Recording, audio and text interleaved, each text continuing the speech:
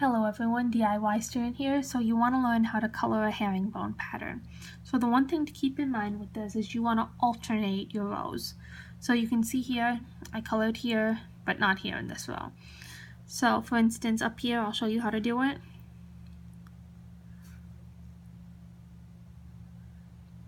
So you can see I'm coloring this one, but then I'm skipping this one to color this one.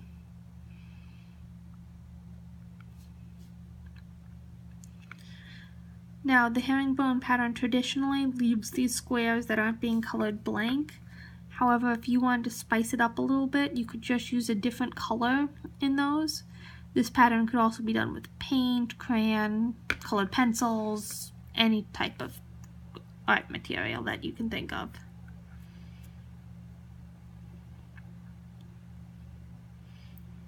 Okay, so there's that row. Now in the next row, you skip to the next square here. So I'm not coloring the one directly above the square. Instead, I'm coloring the one that's on a diagonal from the one I recently colored. And then I just keep going with skipping, just like I did at the first row.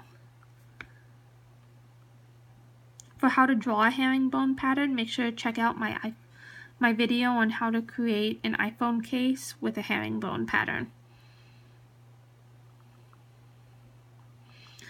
I also plan to, some point in the future, create a video on just how to create a herringbone pattern so that you could see it and it could be applied to anything. So make sure to check that out if you want, and stay tuned for future videos. Please subscribe and like this video if you liked it.